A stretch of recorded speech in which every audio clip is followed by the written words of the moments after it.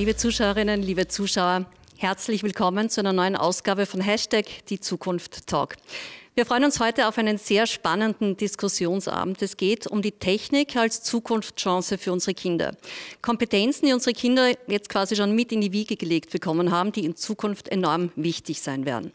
Und von dem her ist es heute ein ganz spannender Talk, auf den wir uns freuen mit unseren Talkgästen. Die Technik als Chance für die Zukunft, aber natürlich auch als Herausforderung. Und ich würde Sie bitten, unsere Gastgeberin, Vorständin Brigitte Bach, die ersten Worte, die Eröffnung hier des heutigen Abends zu vollbringen. Ich freue mich, dass wir heute hier sind. Vielen Dank fürs Kommen. Warum beschäftigen wir uns mit dem Thema Chancengleichheit für Frauen? Zunächst einmal ganz prinzipiell, 50 Prozent der Bevölkerung weltweit sind Frauen. Natürlich sollen sie dieselben Chancen wie Männer haben und wir wissen, dass das in vielen Bereichen nicht der Fall ist, noch nicht der Fall ist, auch nicht in Österreich.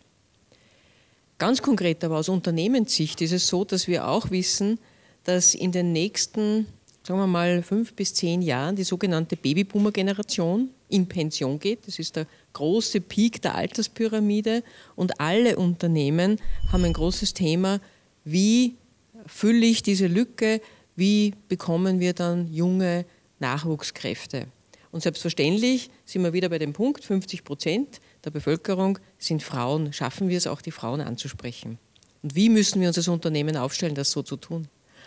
Ja, und der dritte Punkt ist ein ganz besonderer. Äh, wir leben in Zeiten unglaublicher Herausforderung. Äh, Klimawandel ist ganz klar. Wir kennen alle das Thema äh, Migrationsthemen. Wir kennen Digitalisierung und vieles mehr. Jetzt haben wir die Ukraine-Krise, den Ukraine-Krieg viele Herausforderungen und ein Unternehmen muss smart auf diese Herausforderungen reagieren. Wir sehen uns als Green Tech Company und möchten für unsere Kundinnen zum Beispiel die Energiewende vorantreiben, auch mit dem Thema Digitalisierung ganz eng verknüpft. Was heißt das? Wir brauchen Teams, die lösungsorientiert sind, kreativ sind, äh, miteinander schnell am Kunden, für den Kunden agieren. Und wir wissen aus vielen Studien und wissenschaftlichen äh, Arbeiten, dass gemischte Teams wesentlich produktiver eben und ähm, ich sag mal, erfolgreicher arbeiten. Das gilt für Führungsteams, das gilt für Mitarbeiterinnen, äh, egal auf welchem Level und, und wie, in welcher Art. Daher haben wir das Programm ins Leben gerufen, Hashtag die Zukunft, wie man hier sieht, wo wir uns als Unternehmen äh, versuchen, kulturell so zu verändern, dass wir spürbar Frauen herzlich willkommen heißen. Wie machen wir das? Es geht darum, ähm, ganz klar zu sagen, wie kann man Familie und Beruf verbinden. Es geht auch darum zu sagen, wie können wir mehr Frauen ins Unternehmen holen, wie können wir sie halten, wie können wir sie fördern. Ähm, es geht natürlich auch um Monitoring, zu sagen, schauen wir mal genau nach, ob unsere Maßnahmen auch wirklich greifen, ob mehr Frauen äh, ins Unternehmen hereinkommen. Ja, und guter, zu guter Letzt ähm, geht es natürlich darum, insbesondere aus der Sicht der Salzburg AG TechnikerInnen hereinzuholen. Also wir brauchen Frauen in technischen Berufen und wie gelingt uns das? Natürlich können wir viele Maßnahmen setzen, indem wir äh, mit, Schulen arbeiten, indem wir selber unsere Robocamps speziell äh, für Mädchen machen und vieles mehr. Wir können Role Models wir sprechen mit, ähm, mit, mit, äh, mit Frauen, mit Eltern etc. Wir können vieles tun. Aber die, die am meisten tun können, sind natürlich die Eltern. Und daher haben wir heute zu diesem spannenden Talk eingeladen, wo wir uns alle damit beschäftigen möchten, wie können wir äh, Kinder so erziehen oder wie können wir ihnen äh, wie können wir sie befähigen dazu, dass sie ihre eigenen Fähigkeiten entwickeln, auch technische, naturwissenschaftliche Fähigkeiten, egal ob es ein Mädchen oder ein Bub ist. Und ich bin selber schon sehr, sehr neugierig, was wir jetzt äh, zu hören bekommen. Und dann mit übergebe ich wieder an unsere Moderatorin. Vielen herzlichen Dank. Ja, wir freuen uns jetzt auf Christian Werner Franz, der uns genau das sagen wird wie wir unsere Kinder befähigen können, ihr Potenzial auszuleben, ihre Kompetenzen zu stärken, fit zu sein für den Arbeitsmarkt der Zukunft, wie auch immer der ausschaut, weil im Endeffekt wissen wir nicht tatsächlich, wie der ausschauen wird. Christian Werner Franz, er ist Arbeits- und Organisationspsychologe, ein Coach, Trainer, Begleiter und vor allem ein super toller Gesprächspartner. Wenn man bei ihm eines lernen kann, dann gelassen mit gewissen Dingen umgehen, die man eh nicht ändern kann. Aber man kann vieles tun und vieles ändern, von dem her bitte ich Sie um Ihre Keynote-Rede her. Ich freue mich schon sehr drauf. Dankeschön. Einen wunderschönen guten Abend auch von meiner Seite. Ich freue mich wahnsinnig, bei Ihnen sein zu dürfen. Ich freue mich vor allem wahnsinnig, dass Sie den Weg auf sich genommen haben und heute dabei sind. Ich möchte mit einer Frage starten, die wahrscheinlich für den einen oder die andere relativ offensichtlich zu beantworten sein wird. Ich probiere es trotzdem. Wer von Ihnen wünscht sich für seine Kinder einen erfüllenden Job? Hand hoch. Ja, die anderen trauen sich nicht, gell? also eigentlich ganz ernst, sobald man sich mit Arbeit als Broterwerb beschäftigt und darüber hinaus auch nur die Sinnperspektive ein bisschen auf den Schirm bekommt, sind wir uns, glaube ich, alle einig, dass Arbeit in irgendeiner Form mir selbst und dem Gegenüber was geben sollte. Und genau deswegen, Frau Dr. Dr. Bach, bin ich so happy, dass Sie sagen, befähigen. Das ist nämlich ein ganz wesentlicher Punkt oder an der Stelle. Es geht immer um die Frage, was kann ich tun, was kann ich machen. Und Sie sind eine unglaublich handlungsstarke Gruppe. Sie sind Eltern. Sie haben einen Haufen Leben, der Ihnen nachfolgt, der von Ihnen lernen darf, der bei Ihnen zu Hause ein sicheres Umfeld findet und der dort seinen Start ins Leben nimmt. Ich finde das unglaublich kreativ als Tätigkeit fairerweise muss man sagen, wir kennen das alle, an manchen Stellen rennt es fast nebenbei, weil so die Kleinigkeiten des Alltags immer wieder nach vorne schirmen. Ne? Was ich heute mit Ihnen so ein bisschen besprechen möchte oder das, was ich Ihnen als, als Perspektive anbieten möchte, ist so das ein oder andere Werkzeug, um nochmal auf die eigene Rolle zu schauen und was ich eigentlich selbst machen kann dafür, diese Orientierung ganz besonders klar zu bekommen, damit mein Kind eben ebenfalls handlungsfähig wird im Sinne seiner eigenen Interesse und idealerweise in einem Sinne, der technisch ist. Dafür darf ich Sie bitten, Dankeschön. Wir starten mit ganz einfachen Fragen. Mir ist es immer wichtig, ein bisschen zu wissen, vor wem ich eigentlich stehe. Die erste Frage, die ich Ihnen stelle, wer von Ihnen ist mit dem Computer aufgewachsen? Bitte Hand hoch, aber so richtig aufgewachsen, ne, sodass das ein Thema ist. Aha, okay, man sieht ein bisschen einen Stichprobeneffekt hier herinnen. Das ist wahrscheinlich Salzburger AG an der Stelle, super, gefällt mir. Das ist schon nicht einmal schlecht. Nächste Frage für mich, wer von Ihnen arbeitet mehr als 50 Prozent seiner ihrer Arbeitszeit mit dem Computer? Viele, ne? da sieht man schon Großteil. Letzte Frage für mich, wer von Ihnen hat ein Smartphone privat?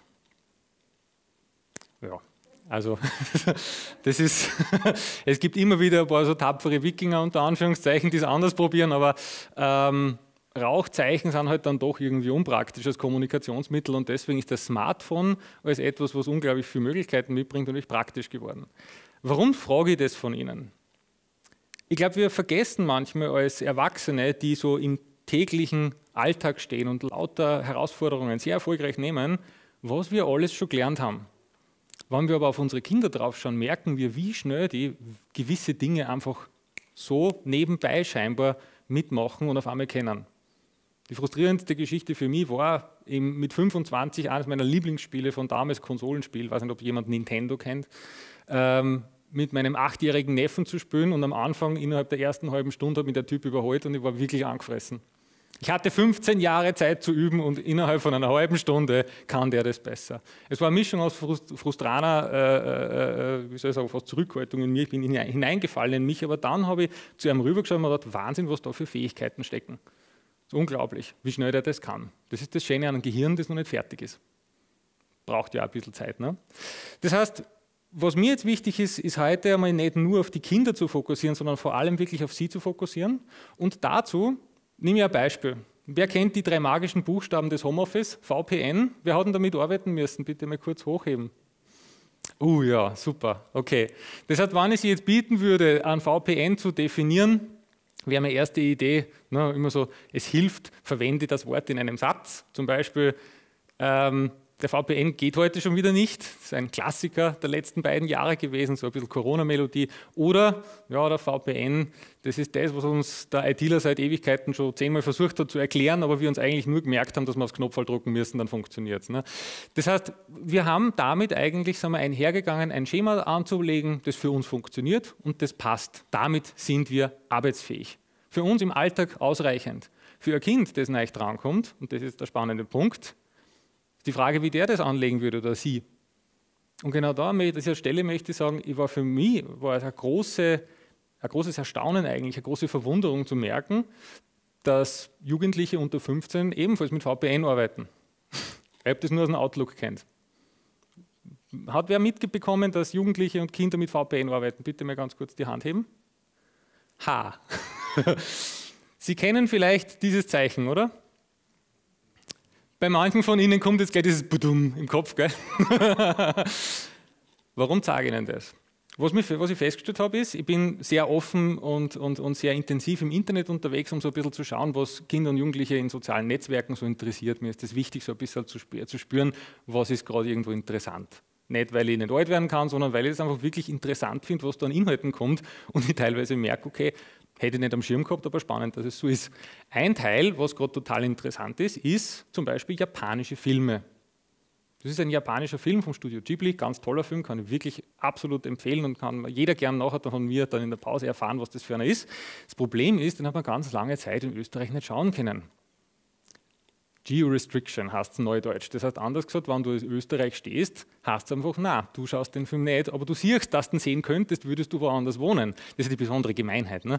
Das ist etwas, was man, wenn man 14 ist und jetzt eigentlich die Freunde da hat und wir haben uns alle schon darauf gefreut, ein wirkliches Problem darstellt. Und in dem Moment wird man kreativ, weil das lässt man nicht zu. Und das ist der Moment, wo auf einmal ein VPN ins Spiel kommt, die es mittlerweile sogar gratis gibt und die damit ohne Aufwand auf einmal sagen kann, hey, ich bin eh quasi in Japan, ne? hast zwar eigentlich Bautle und Felden, aber das macht nichts. Das ist eigentlich ist das quasi Japan und damit habe ich auf einmal meinen Zugriff und der Abend ist gerettet. Was ist passiert? Motivation war pur, also 110%ig an der Stelle, weil ich will jetzt wirklich mit meinen Freunden den Film schauen. Wir haben Popcorn gemacht und die Mama hat uns sogar einen Kuchen backen, also wirklich. Das kann man nicht nicht schauen, sagen wir uns ehrlich. Das heißt, es war absolut klar, die Motivlage war perfekt. Die Energie war da, weil was sonst zum tun. Ne? Und damit war eindeutig klar, dass die Lösung findbar ist. Man muss nur verstehen, dass das eine Lösung sein kann. Und das ist das Schöne dran. Es wurde hier gelernt, wer ein konkretes Problem da war. Und Lernen am Problem, das haben Sie wahrscheinlich alle schon irgendwo mitgekriegt, ne? funktioniert bei Kindern ziemlich gut. Weil wenn der was will oder sie, dann kommt es dahin. die Frage ist, hat man es am Schirm, was mir dann selber passiert in dem ganzen Prozess, gell? das ist die andere Geschichte mir ist es so wichtig zu sagen, Kinder haben hier das gleiche Problem gelöst, das sie alle gelöst haben. Nur haben sie es aus einer ganz anderen Motivlage herauslösen müssen. Sie haben arbeitsfähig sein müssen, die Kinder wollten am Abend fernschauen miteinander. Ein drastischeres Beispiel, wie reichhaltig die Fähigkeit von Kindern und Jugendlichen ist, sich selbst technische Fähigkeiten anzueignen und nicht nur technische Fähigkeiten, sage ich Ihnen jetzt. Mal kurz die Hand heben. Wer von Ihnen weiß, was TikTok ist? Boah, das ist aber viel. Schon wieder Stichprobeneffekt da. Wahnsinn, bin beeindruckt. Wer von Ihnen hat ein TikTok-Profil? Das wird schwieriger. zwei Leute, da nur wer, da? Nein, kein, keine TikTok-Seite, in der Mitte auch nicht. Hier zwei Personen. Cool. Sehr aktiv bespielt, wenn ich so persönlich fragen darf, oder eher passiv mitschauend? Eher passiv mitschauend, okay. Ich finde das super. TikTok ist ein Medium, wo ich also für alle, die das nicht kennen, aber Sie wissen zumindest, dass es das gibt. Es ist eine Plattform, wo Kurzvideos äh, gepostet werden, so wie zum Beispiel Instagram, wo es halt primär früher um Fotos ging, geht es halt dort um Kurzvideos. Und TikTok ist gerade das zentrale Ding, wo sogenannte virale äh, Erscheinungen einfach im Internet stattfinden. Wenn irgendwas cool ist, dann ist es dort da ist Musik, da sind Musikvideos, ganz kurze Videos meistens, weil die Aufmerksamkeitsspanne im Internet immer kürzer wird. Rein empirisch ganz spannend tatsächlich auch. Vor fünf Jahren war das durchschnittliche YouTube-Video fast neun Minuten, jetzt ist es dreieinhalb Minuten. Das sind Unterschiede, ganz faktisch. Ne? Und TikTok ist wirklich nur mal also alles unter einer Minute. Und wir schauen uns sowas jetzt an miteinander. Und zwar unter der Perspektive, was lernt man da davon, wenn man sowas macht? Die Dame hier heißt Lea und kommt aus Berlin, schreibt sie selber. Wir können der Meinung sein, dass aus meiner Sicht ein bisschen ein österreichischer Dialekt dahinter ist. Schauen wir mal drauf. Bis nächste Stunde habt ihr das bitte alle in euren Heften stehen. Lea? Ja, ähm, darf ich bitte ein Foto machen von der Tafel und ich schreibe das dann zu Hause ab? Ausnahmsweise. Okay, danke. Als ob. Ich versuche jetzt einen Schritt zurückzugehen und mir vorzustellen, und die Herrschaften, die Video hier herinnen machen, wissen denn um den Aufwand von sowas. Was hat die Dame da produziert?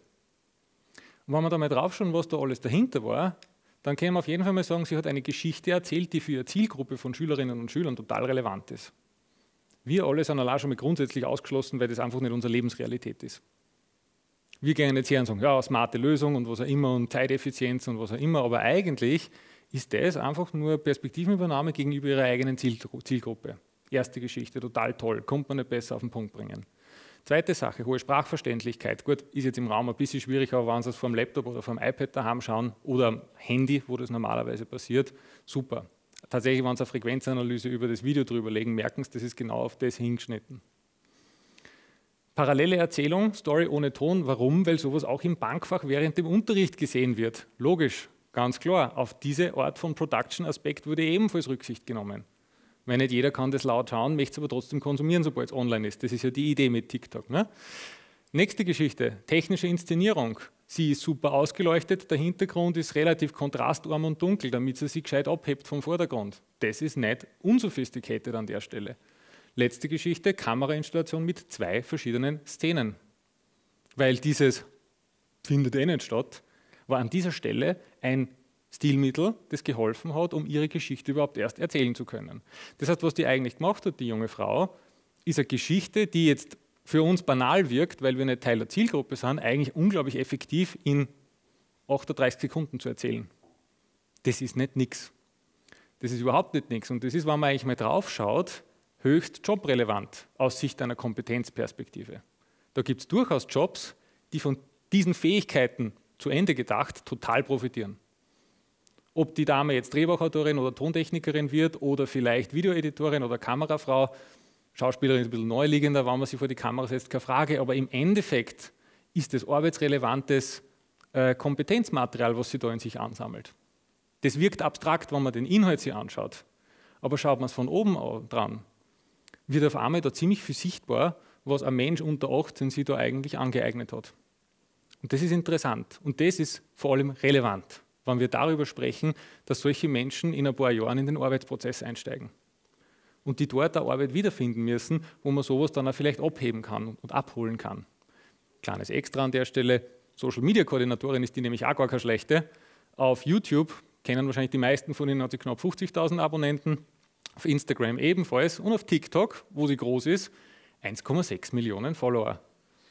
Das ist nicht nix. Auf ihre Videos wurde 110 Millionen Mal reagiert. Das muss ich mir vorstellen, was die, was die junge Frau für eine Reichweite hat. Das als Unternehmen herzustellen, das ist eine Arbeit. Da denken einige Menschen, die da frisch einsteigen, lang drüber nach, damit das so funktioniert. Das ist mein Punkt, den ich einfach sagen möchte. Wir müssen hinter den Inhalt schauen, um zu erkennen, was für Kompetenz dahinter steht. Uns fällt es besonders schwer, weil wir aus einer anderen Sozialisation kommen, weil wir aus, einer anderen, aus einem anderen Verständnis herkommen, was es wert ist, seine Zeit zu investieren. Für ein 28 Sekunden langes Video, wo ich erzähle, dass ich mein Foto wahrscheinlich eh nicht machen werde, äh, das scheint für uns auf den ersten Blick jetzt keine unendlich erzählenswerte Story. Ne? So ein bisschen habe ich es auch gehört. Und das verstehe ich inhaltlich. Aber das, was damit gemacht wird und was es aus der jungen Frau macht, als Potenzial einer zukünftigen Mitarbeiterin, das ist fantastisch. Das heißt, das war jetzt einmal so der erste Blick in die Frage, wo ich sagen möchte, hier ist das offensichtliche Lernanlegen von Fähigkeiten ja schon sowieso da, weil das, die eigene Motivation ganz groß ist.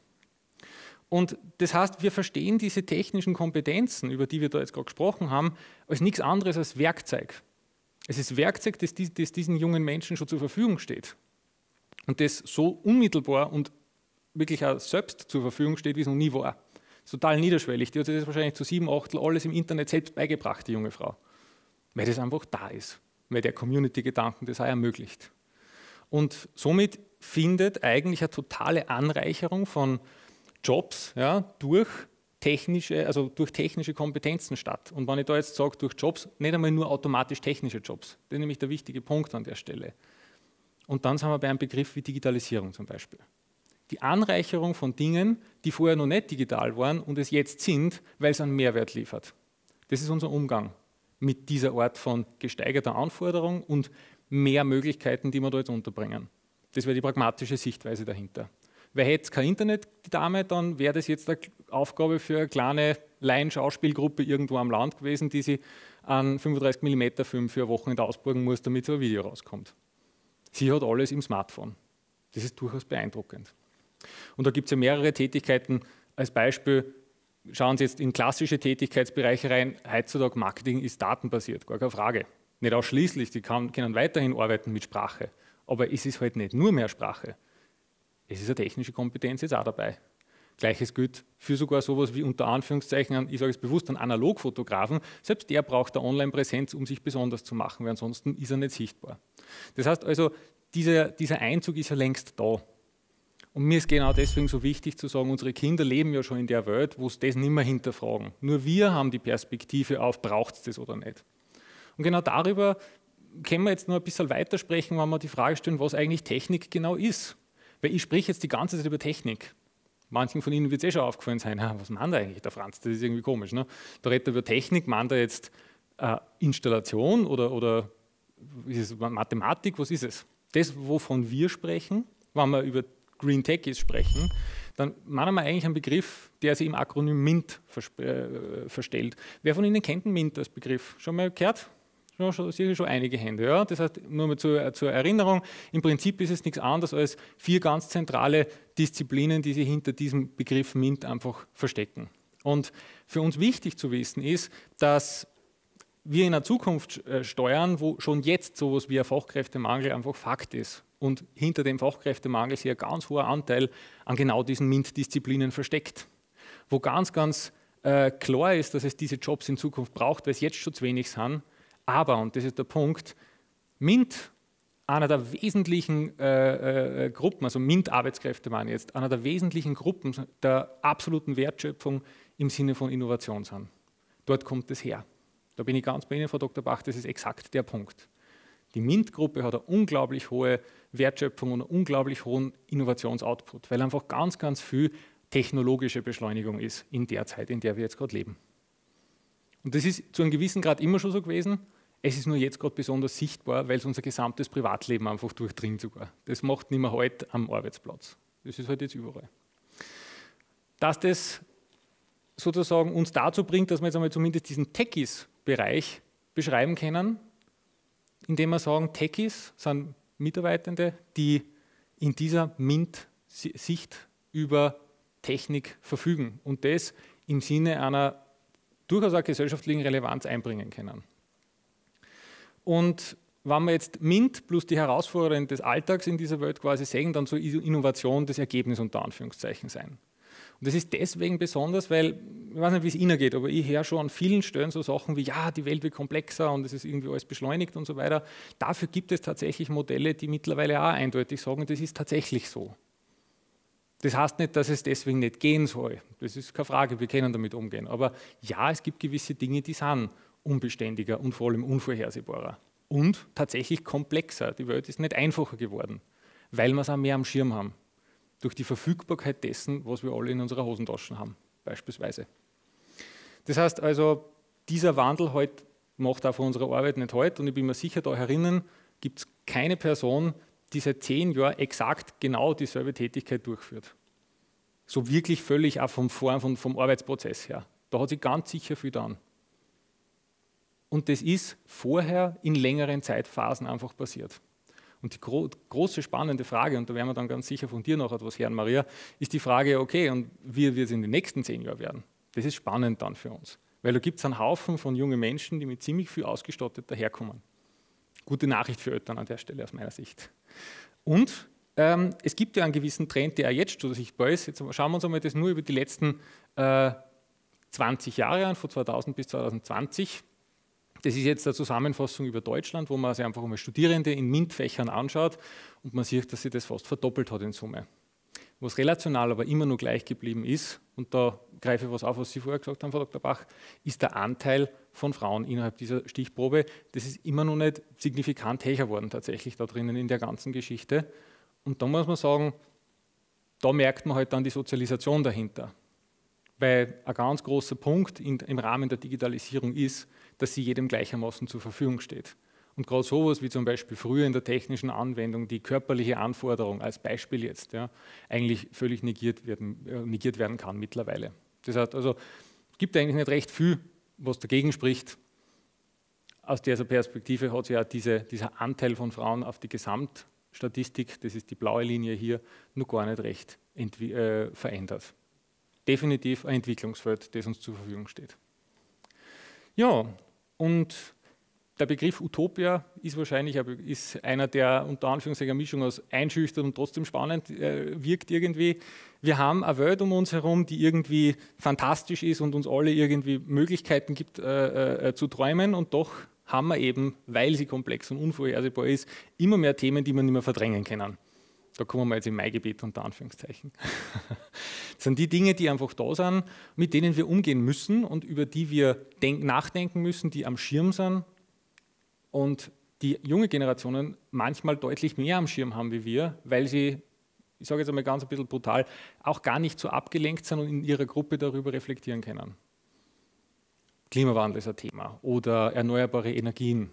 Wer sich für sowas wie ähm, Energiewirtschaft hier herinnen interessiert, der wird das ganz stark am Schirm haben. Auch wieder so ein bisschen ein Stichprobeneffekt. Ne? Andere Geschichte, Mobilität. Wer schon mal auf äh, Inst, äh, auf Twitter zum Beispiel war. War Twitter, hat jemand ein Profil? Kurz zum Checken. Ist wenig, das ist interessant, ist wenig, okay? Ja, es sind mittlerweile in Österreich vor allem Journalisten, habe ich gemerkt. Das ist eine sehr, sehr ein, einseitige Stichprobe. Twitter, wer jetzt gerade auf Twitter ist, hat einen der Automobilbarone äh, äh in Amerika jetzt gerade als den absoluten äh, Überchef da drinnen, der dominiert Twitter gerade, der Elon Musk von Tesla. Also das heißt, Sie sehen, das ist allein schon durch die Präsenz dieser Personen ein Riesenthema.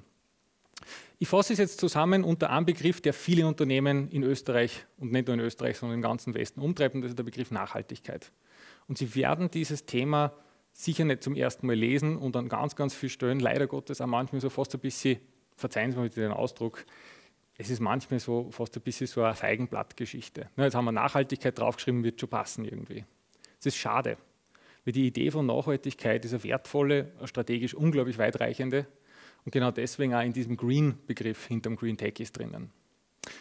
Die Diskussion jetzt an der Stelle weiterzuführen, würde uns ewig weit bringen, aber nur einmal damit klar ist, da schauen wir hin, wenn wir an unsere Green Techies denken.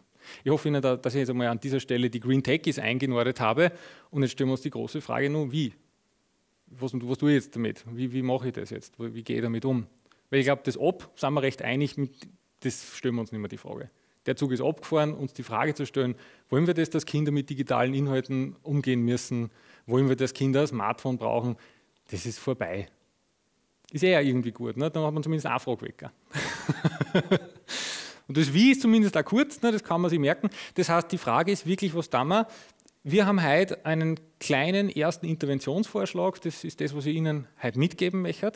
Und das ist die erste gute Nachricht, Sie müssen schon mal keine Experten werden jetzt auf einer technischen Ebene, um trotzdem was bewirken zu können. Mir ist das so wichtig, weil ich merke ganz häufig die Einschüchterung auf der Elternseite. Ich ich kann ja was nicht programmieren, wie sollte mein Kind dafür motivieren, dass es jetzt sowas interessant finden könnte. Und da ist meine Aussage die, dass sie eine andere Rolle haben. Sie schauen von oben herab auf das Treiben, was die Kinder da so machen miteinander. Auf ein Spielfeld, das sie permanent ändert auf einmal ist TikTok da. Das war vor eineinhalb Jahren eigentlich noch kaum Thema. Und jetzt ist es auf einmal in jeder Hosentasche. Das Spielfeld schaut jeden Tag ein bisschen anders aus. Sie bringen Ressourcen mit, die unglaublich wertvoll sind. Sie bringen übergeordnete Fähigkeiten mit. Und das ist sowas, wo ich den Eindruck habe, auch in Coachings, an diese übergeordneten Fähigkeiten denken wir gar nicht so oft als Erwachsene, weil sie, wenn wir es dauernd brauchen, aber nie zum Thema machen.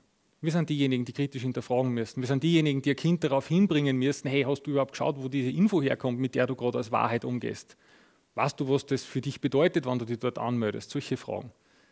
Weil für den Inhalt sind wir, glaube ich, wirklich alle miteinander ganz schnell keine Experten mehr, sobald man, sobald man ein Kind zwei Wochen mit einer App allein im, im, Zimmer, äh, im Zimmer sich beschäftigen lässt. Das heißt, Sie sind zusammengefasst totale Expertinnen für Problemlösung. Weil das machen Sie schon so viel länger als Ihre Kinder, dass genau das ist, was Sie den Kindern als Ressource zur Verfügung stellen können. Das ist einmal als Einstieg darin. Mein Eindruck ist, da kann ich jetzt nur von mir sprechen und aus meiner Erfahrung mit vielen Menschen, die ähm, ins Coaching kommen, weil sie genau an einem Problem stehen, wo es immer nur darum geht, habe ich gerade den Blick von oben, habe ich gerade den Hubschrauber zur Verfügung, dass ich kurz raufgehe und mir anschaue, wo ist die nächste Fähigkeit, die ich jetzt anwenden kann, die mir jetzt zur Verfügung steht, um mich und damit auch wahrscheinlich dann in dem Fall mein Kind zu befähigen. Dazu schauen wir ganz kurz rein in drei Szenarien. Das erste Szenario, stellen Sie sich vor, Ihr Kind hat überhaupt keinen Zugang, überhaupt keinen technischen Zugang. Das gibt es. Manche Kinder sind einfach, ja, haben nur, hm, bin zufrieden, danke, geh spielen. Das heißt, da habe ich unterschiedliche Arten von Beschäftigung für gerade kleine Kinder beispielsweise. Manche sind super, ne? das ist klasse, ganz toll, das ist jetzt ein Beispiel, aber nicht ganz un, äh, nicht unbekannt. Ne? Fußball spielen ist toll und Volleyball auch, weil die Nachbarskinder machen das auch und außerdem haben wir Katzen und Hund, das ist toll. Das ist einmal super. Mit dem alten Spielzeug, ja, Vater, das braucht man nicht mehr. Also lieb gemeint, aber dein Teddybär brauche ich wirklich nicht mehr, das ist echt nicht und dann kommt das große Thema. Die Nachbarn haben eine Xbox, ich habe keine. Ich würde ja gern, aber ich traue mich nicht, weil ich keine habe. Und vielleicht bin ich schlecht und vielleicht mache ich es falsch. Und jetzt bin ich unsicher, weil eigentlich will ich ja schon. Und Sie kennen das. Ne? Sie schauen auf das Kind hin und denken sich, aha, da ist ein innerer Konflikt vorhanden, was du tust, ne? kannst du auf der einen Seite kannst du das lassen. Die andere Variante ist aber, na Moment, vielleicht liegt da jetzt der Lernerfahrung drinnen. Und das beste Mittel gegen Angst, und im Endeffekt ist diese Unsicherheit eine Angst, ist Neugierde. Da sage ich jetzt nichts Neues, das haben es alle schon beobachtet, aber Neugierde entfacht den Forschergeist. Und damit es stattfindet und die Kinder zum Piloten ihrer eigenen Lerngeschichte wieder werden, ist die erste Geschichte spielerischen Raum schaffen. Was heißt das jetzt, spielerischer Raum? Gibt es wahrscheinlich ein paar Ideen da herinnen. Ich kann nur mal sagen, was ich, da, was ich unter spielerischen Raum als absolutes Minimum verstehe. Und das ist auf der einen Seite, das, was angeboten ist, darf nicht schon im Vorhinein bewertet sein. Und das schaffen wir dadurch, dass es in irgendeiner Form neuartig ist. Das heißt nicht, dass die Sache neu sein muss, aber der Umgang damit, in irgendeiner Form neuartig. Etwas, was ich noch nicht kenne. Weil sobald ich mein Kind verwirre, muss er sich was Neues überlegen damit. Großartig. Und sobald Unsicherheit besteht, einfach die Frage aufgreifen, wo stehst, wo hängst wo ist der nächste Schritt? Und die Themen wählen, die dem Kind wichtig sind, da ist für mich der Punkt, ähm, ich glaube, wir alle wissen, wie es sich anfühlt, wenn man zu Weihnachten vom Onkel, von der Tante was geschenkt kriegt, was man sich wirklich nicht gewünscht hat. Die Bereitschaft, sich darauf einzulassen, ist begrenzt, nennen wir es mal so. Und genau deswegen sage ich, diese Enttäuschung kann ebenfalls Lernen massiv ähm, verhindern, weil es im falschen Zeitpunkt passiert. Ich weiß, große, große Sache, gerade zu Weihnachten. Ähm, außerdem ein ganz wichtiger Punkt für uns auch, auch in der Vorbereitung auf diesen Talk, und da gehe ich was ein, Frau Dr. Bach, das mir ganz wichtig ist. Ich habe da jetzt einen Raum, der möglichst neutral ist. Ich stelle Ihnen die Frage, schauen Sie genau hin. Ändert sich jetzt hinsichtlich der Frage, wer wohnt da wohl drinnen, was, wenn ich Folgendes mache? Ändert sich was? Emotional? Wird gegrinst? Was war Ihr Gefühl? Ein Mädchen. Ja? Schauen Sie nur mal hin. Ändert sich was? Was ändert sich?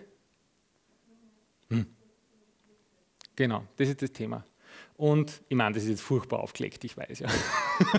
ich bin jetzt nicht durch Subtilität aufgefallen mit dieser Intervention. Der Punkt ist aber, dass das so in uns drinnen ist, weil wir durch diese Schule gegangen sind und die, die es uns beibracht haben, ebenfalls durch die Schule gegangen sind dass aber damit natürlich, das ist ein Beispiel, kann er hassen, du bist zu jung, du bist zu alt, da steht 4 plus 14 drauf, du bist 11, du darfst nicht, solche Geschichten. Da gibt es so viele Restriktionen, die wir machen, einfach weil sie ungefragt in uns drinnen sind, ohne dass wir es am Schirm haben, dass die wichtigste Geschichte, wo wir uns selbst an der Nase nehmen, auch gegenseitig, gerade in der Partnerschaft ist das eine super Geschichte, die Frage zu stellen, wo sind meine Vorurteile, wo sind meine Stereotypen drinnen, weil die werden ganz sicher aufge aufgenommen. Und das kommt aus der Funktion des Stereotypen der stabilisiert mich. Weil wenn sie nicht irgendwelche Automatismen hätten, kann man sie nicht einmal über Frühstück hinweg. Also sie jeden Tag alles neu erfinden müssen. Also das hat ja grundsätzlich Funktion. Es ist nur dort schwierig, wo es Lernen verhindert auf einer anderen Ebene. Ja? Das ist der Punkt, den ich Ihnen da mitgeben möchte an der Stelle. Für spielerisches Umfeld ganz wesentlich. Zweite Geschichte, wenn dann Interesse da ist, fördern, weil es gibt kein falsches Interesse. Man kann sich nicht falsch für was interessieren. Das werden Sie selber kennen aus der eigenen Geschichte. Sobald was für Sie wichtig ist und dann erklärt Ihnen einer, warum es nichts ist, dann wird es nur besonders interessant. Davon abgesehen, was eine gute Funktion ist, ein Selbstschutz an dieser Stelle, ist gut, dass die Psyche so funktioniert. Aber ein Kind kann nur Interesse im konstruktiven Sinne sagen, weil es aus irgendeinem Grund relevant ist. Und genau da muss man sagen, aus dem Grund braucht diese Neugierde, ich habe es Forschergeister an der Stelle auch genannt, Sicherheit.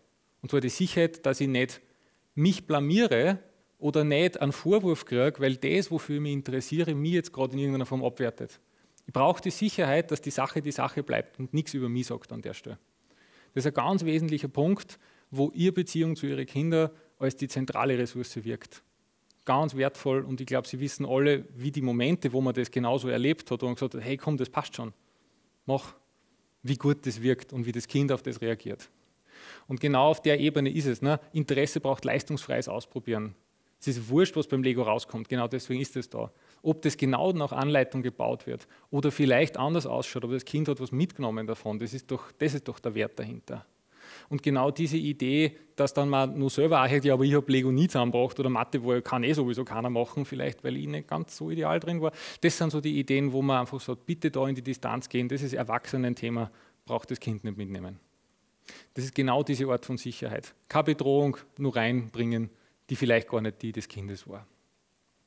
Letzte Sache, dann gebe ich Ihnen Frieden, aber für mich der wesentlichste Punkt, die Begeisterung des Kindes dadurch verstehen, indem man sie löst davon, was man glaubt, selbst über die Sache zu verstehen.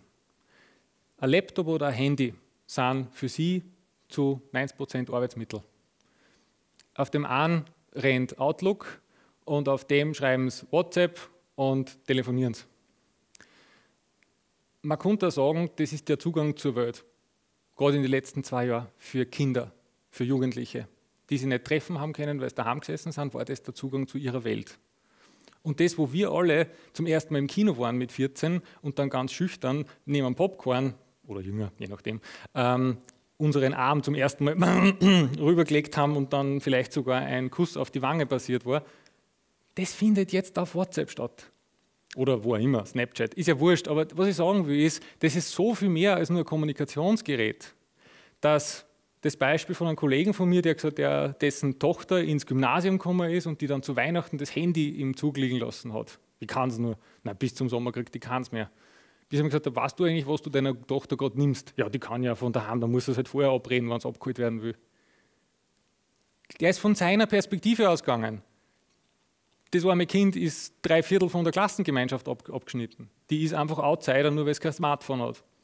Ob wir das jetzt gut finden oder nicht, ist eine ganz andere Diskussion. Fakt ist, dass es so ist. Und dafür müssen wir die Perspektive der Kinder für die Dinge einnehmen und uns ein bisschen distanzieren von dem, was wir selber verstanden haben, dass die Dinge wert sind und bedeuten. Das heißt, alles, was da unter Anführungszeichen auf uns zukommt, an Themen, an Einstellungen, an Werten, die vielleicht nicht die unseren sind, ja, müssen wir aushalten, so wie es die Generationen vor uns mit der jeweils nachfolgenden ausgehalten haben. Eines der ältesten Zitate zu dem Thema steht schon im quasi Code von Hammurabi so in die Richtung. Also das heißt, das ist immer schon die Geschichte der Menschheit gewesen. Die Generation davor dient als Abgrenzungsfläche für die Generation danach, die eine eigene Identität braucht. Und damit möchte ich nur mal kurz in drei Sätzen zusammenfassen. Schafft ein Interesse für Begeisterung und einen Raum, in dem das stattfinden kann? Gibt es den Kindern Sicherheit, das Wissen, dass es okay ist, sich für was zu interessieren. Und abschließend versteht die Begeisterung wirklich aus den Augen des Kindes, weil damit geht dann auch sehr viel mehr weiter. Und lasst euch überraschen von dem, mit was die Kinder zu euch kommen. Viel Spaß dabei. Dankeschön.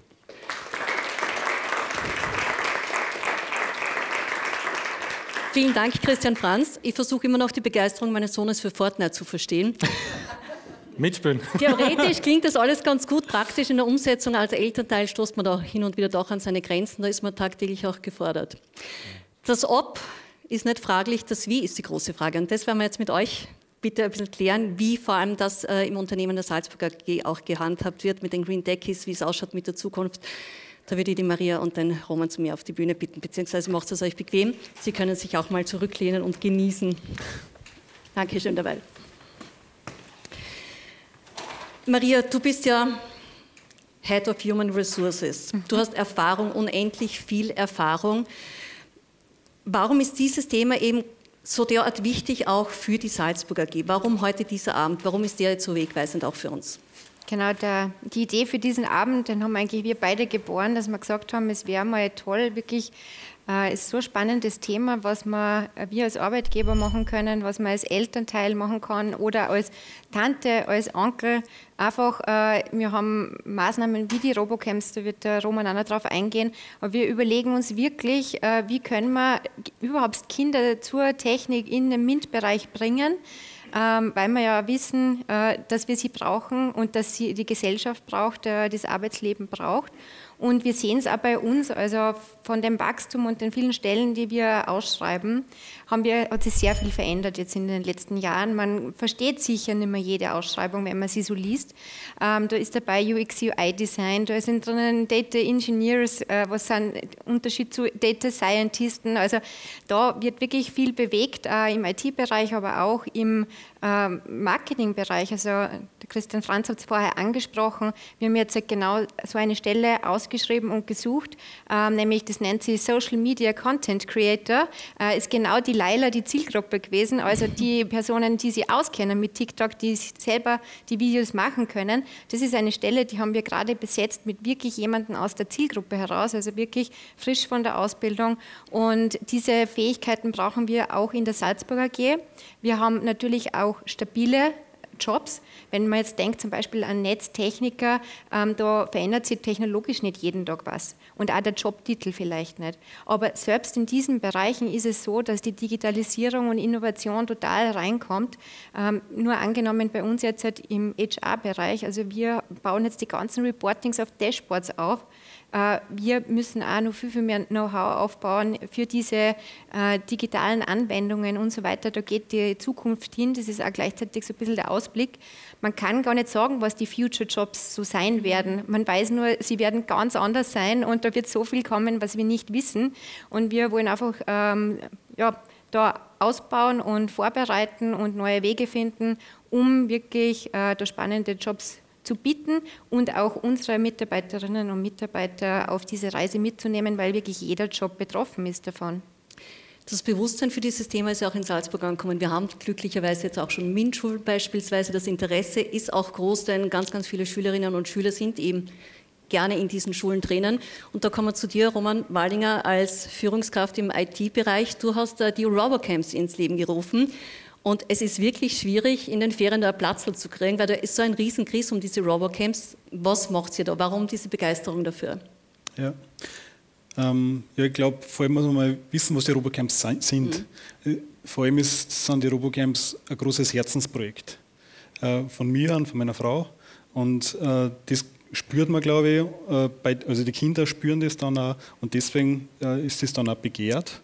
Ähm, aber was es fachlich natürlich ist, es sind komplexe IT-Inhalte, wirklich komplexe. Also teilweise sind die wirklich aus dem, aus dem ersten Semester vom, vom IT-Studium rausgenommen, ähm, die man dann einfach runterbricht und altersgerecht ähm, aufbereitet und dann in einem Roboterprojekt tarnt.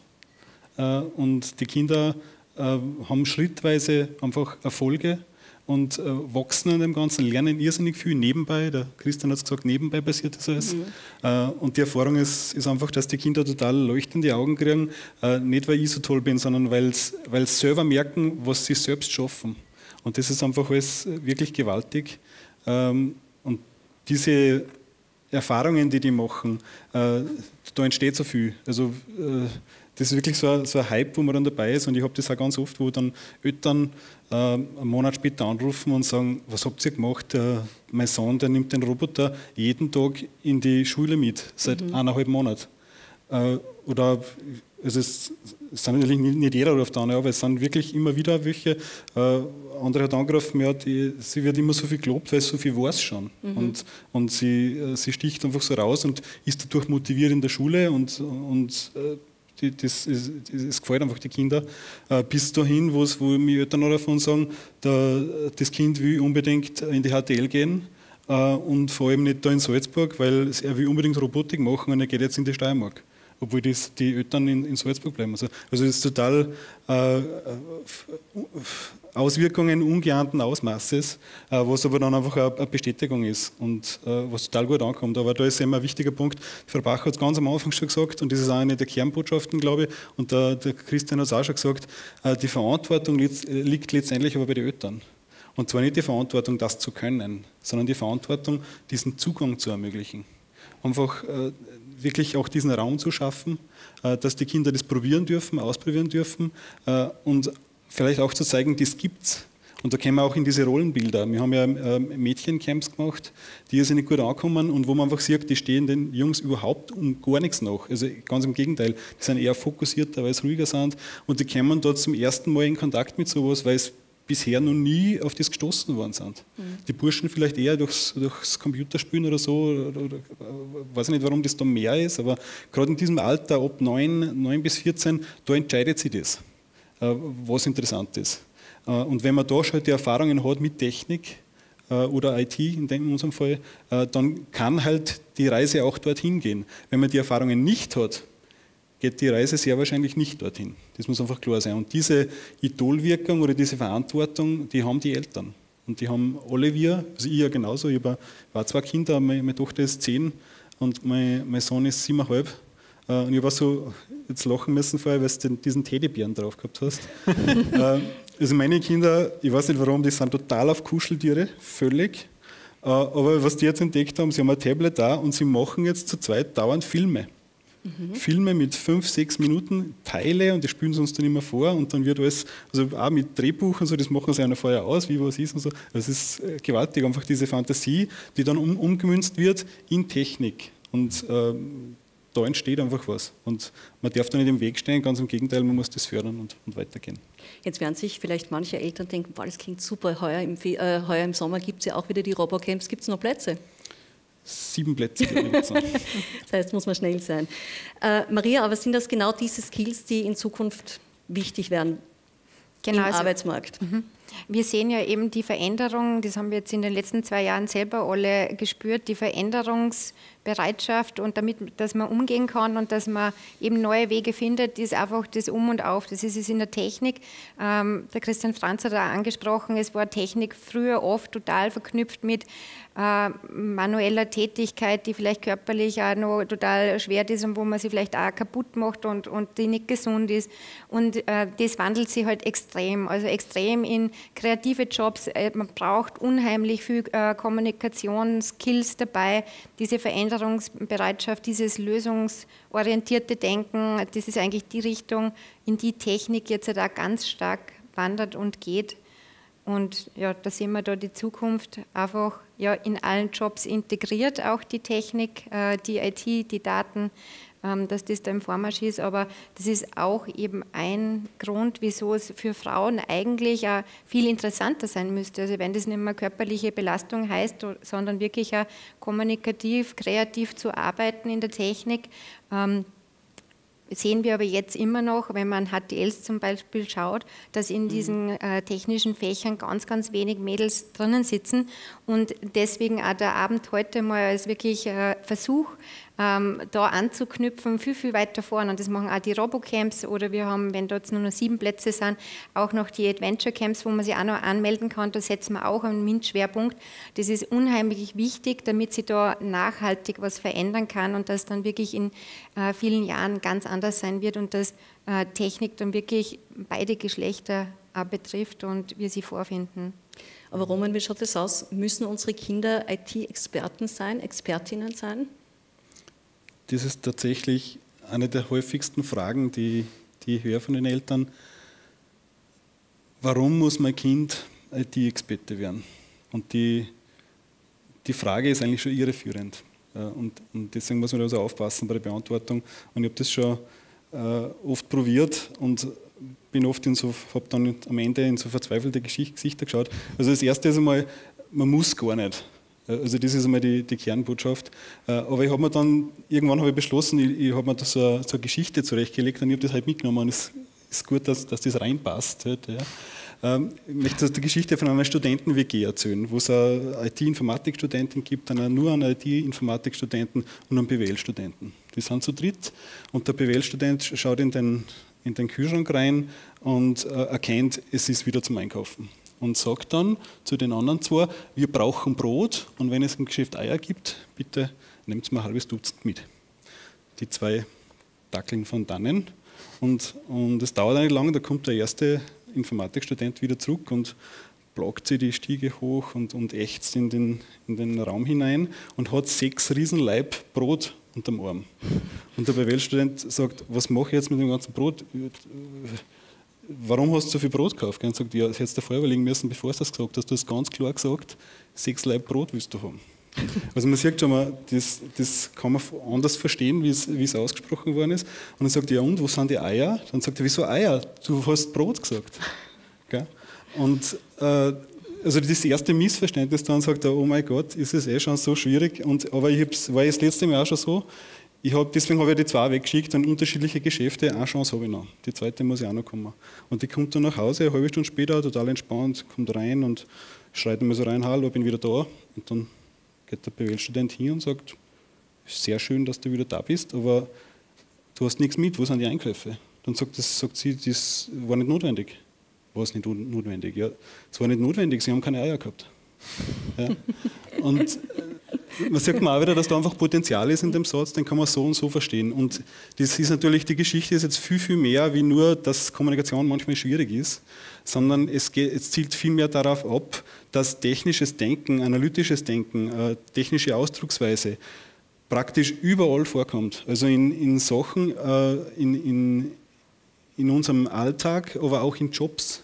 Und die Maria hat es ja auch schon gesagt, es kommt in alle möglichen Jobvarianten kommt schon vor, dass man auf, auf technische Art und Weise äh, denken muss. Und die, da komme ich jetzt zur, zur, Kernbotschaft. Man muss, also sage mal so, wenn man, wenn man sich entscheidet, wenn man spricht von, von Kindern in die Technik äh, oder Green Techie, äh, dann kann das einerseits heißen IT-Experte, und da gibt es hohe Nachfrage und die werden auch sicher gut entlohnt und das sind gute Anreize.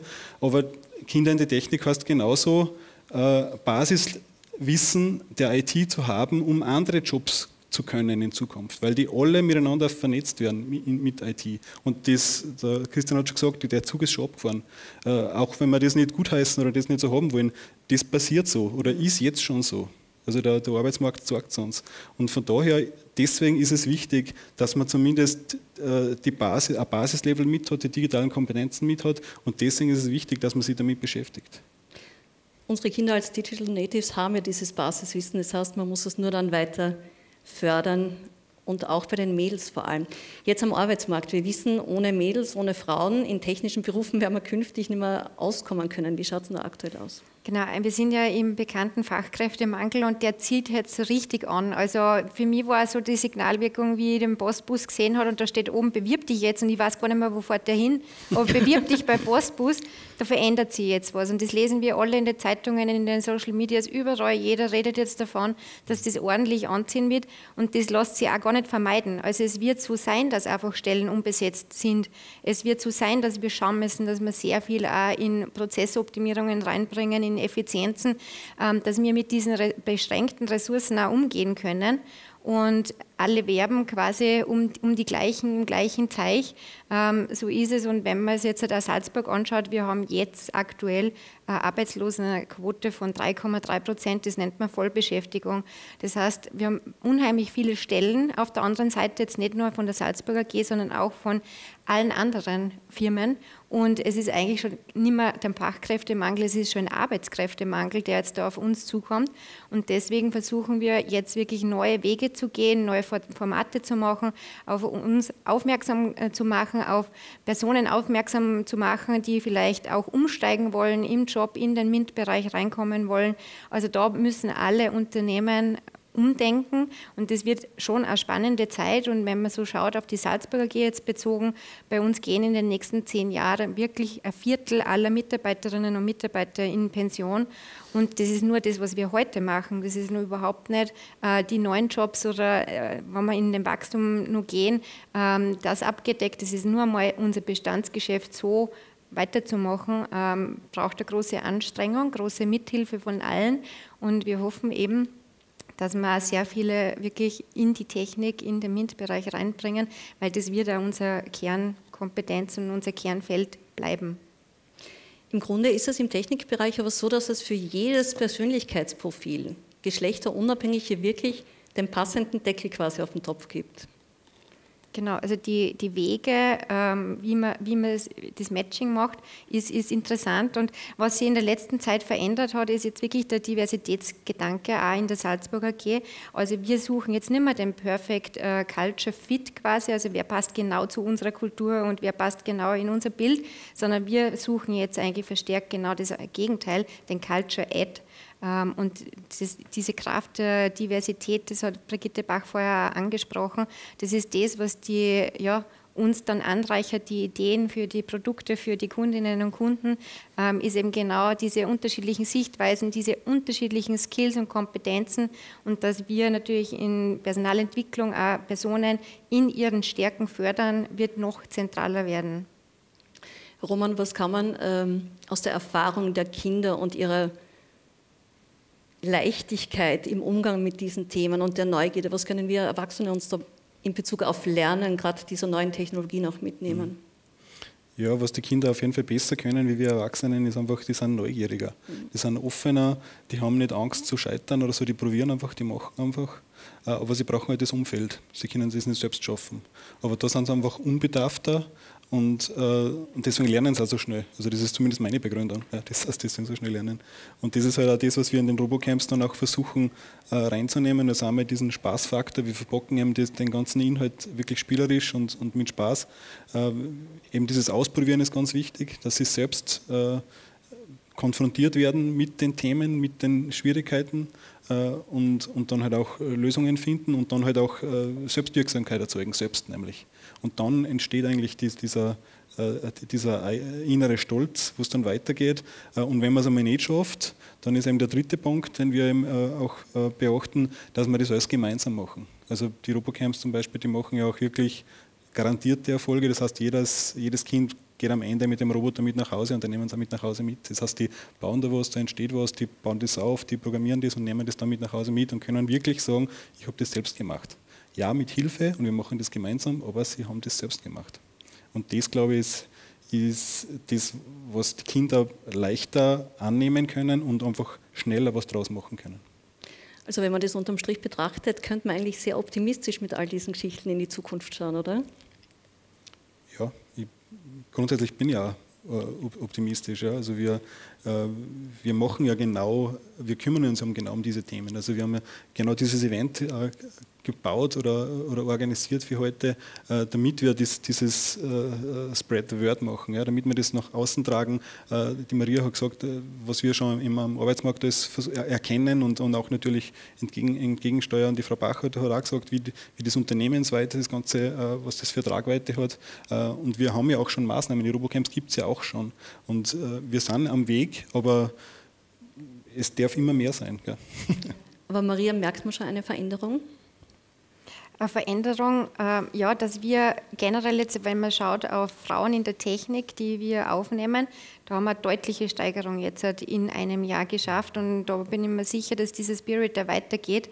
Ähm, da merkt man schon einen Unterschied und ich glaube auch diese Diversifizierung oder auf Diversity auch zu setzen als Arbeitgeber wird auch noch viele anziehen und viele ja, zu uns bringen und uns dann bereichern, wirklich in der, in der täglichen Arbeit. Also da sieht man wirklich die Früchte.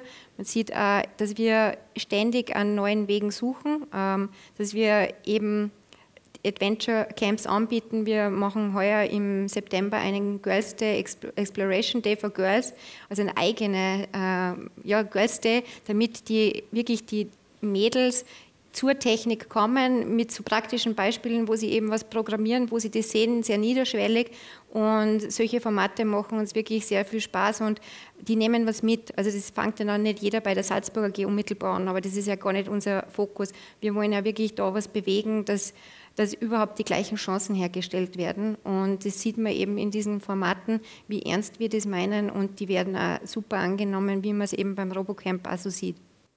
Vielen herzlichen Dank für diese spannenden Ein- und Ausblicke in eine Zukunft, der wir sowieso nicht entkommen. Wir können nicht auf Pause stellen.